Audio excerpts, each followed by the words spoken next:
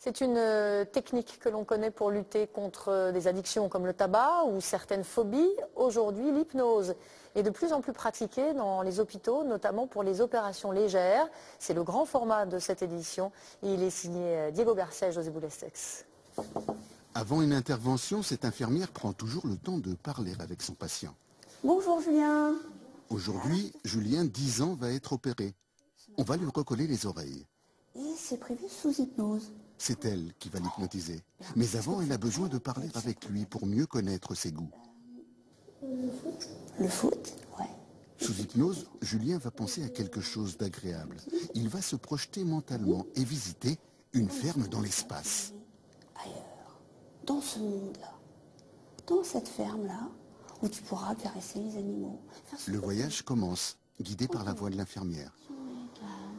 Julien reste conscient. Son attention est captée. L'hypnose associée à une anesthésie locale permet à l'enfant de rester dans un état de conscience modifié, sans souffrir.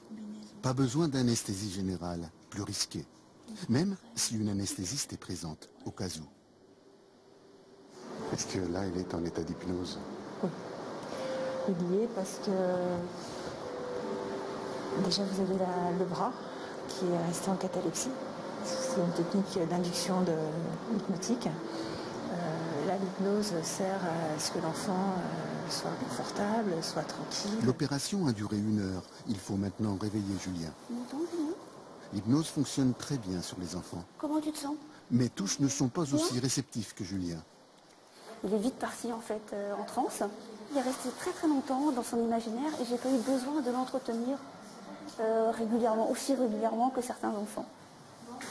Grâce à l'hypnose, Julien aura moins mal après l'opération et donc consommera moins de médicaments. Il récupérera plus facilement tout en gardant un bon souvenir de l'intervention Ça fait pas mal, on sent rien en fait. et de son voyage imaginaire.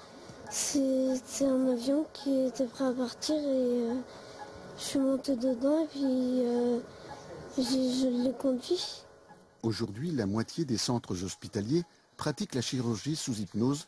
Il n'était qu'un tiers il y a dix ans.